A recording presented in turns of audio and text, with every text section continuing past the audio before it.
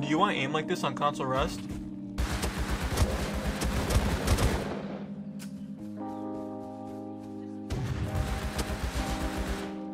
Or even something like this? Fuck. Killed one. No! I just left the trap door open. Killed now. two.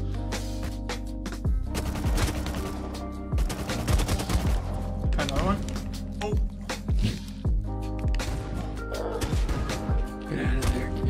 my god, got him. Oh. Then make sure to watch the video all the way through to learn all the best ways you can improve your PvP skills in console Rust. Alright, so the things I'm going to be going over in this video are awareness, recoil on weapons, make sure you have the right settings to reduce input delay and lag, and the last one is having a good connection to your server and the right setup equipment that can get you way better at the game right away. So starting with awareness, and what I mean by that is watching out for enemies at all times, whether you're farming trees, rocks, or you're in different monuments, you always have to be looking around to make sure nobody's near you. I feel like I win my fights way more when I see my enemies before they see me. Because then I could position myself to get a good shot on them first before they can even shoot back at me. And I know the sound is pretty messed up in this game right now, so that's why you have to be even more careful when you're running around. There's a really useful setting in the control layout, and it's called Head Look Hold with LB, and you could switch it to that by pressing Y where it says swap special action and you could swap through the different options that they have but the head look hold for LB is definitely the best one to use. You can look left and right without having to stop and look. You can even look behind you a little bit, which is really useful. And since the sound is so bad in this game, it's hard to hear footsteps. So that's the very first tip on how to get better at PvP. It's not about being able to shoot somebody faster, it's really just about being able to outsmart them while being more careful and getting better positions on the map. Now, for the second tip, I'm going to talk about the recoil on weapons. And I'm sure most of you seen this game on PC before, where the recoil is really bad. And the reason they do that on PC is because there's a lot of hackers in the game that can put on no recoil. And for that reason, they have to make the recoil pattern so unique for each weapon, so hackers couldn't do that.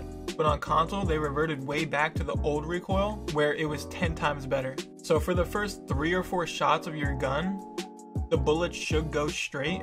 But then after that, the recoil pattern goes from left to right and it keeps going back and forth. It doesn't go up and down. So when you're fighting somebody, you don't want to move your right stick as much. What you want to move is your character. So when you're in a fight, you want to be moving left and right, like bobbing and weaving, trying to dodge the shots. This should help with keeping your aim straight, but it's also going to make it harder for your opponent to kill you. Alright, and now in the third tip, I'm going to be talking about the settings because if you don't have these same settings, then the input delay is going to feel really bad, like I said, and you also might be getting some lag spikes or some frame drops that you normally shouldn't get if you have these same settings.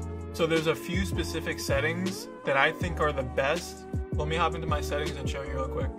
Nothing important in the game settings, but in the controls, there's a lot of different things you want to switch here. First thing you want to do is turn the vibration off. You never want vibration in shooting games because it's going to mess up your aim. It also makes your controller hot, so if your hands sweat, that's probably why. Make sure you have auto sprint on. With auto sprint, after you're running for a few seconds, you can remove your left stick from pushing forward and it'll sprint for you. You can like move left and right with your right stick, but you don't need to have your thumb on the left stick.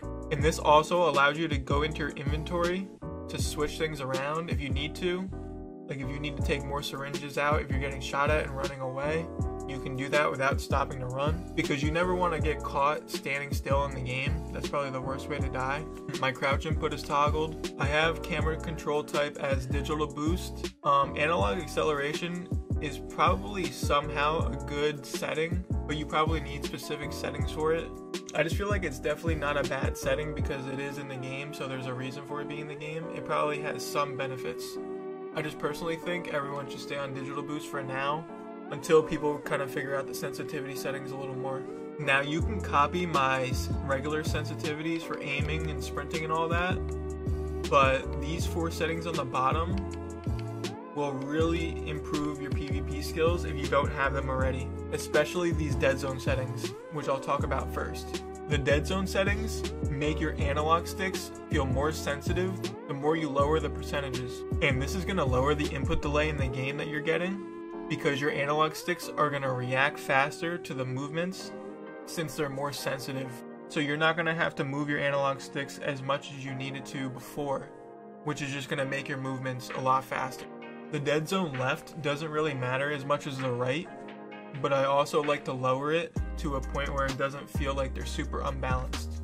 Camera inertia takes away accuracy of movements to make your camera feel more smooth, and you don't want that because you want your moves to be accurate.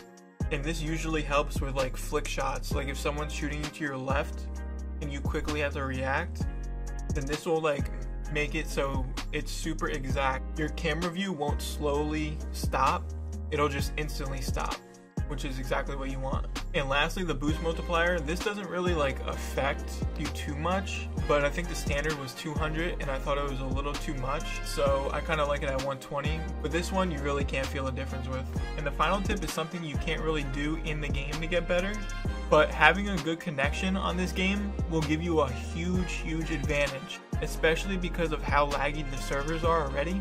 So if you have a good connection, you're probably to win more of your gunfights just based off your better connection. And a super fast way to immediately get better connection is to use an ethernet cable, which is basically a wire that goes from your router directly into your console. And when I did this, it doubled my internet speeds on my console.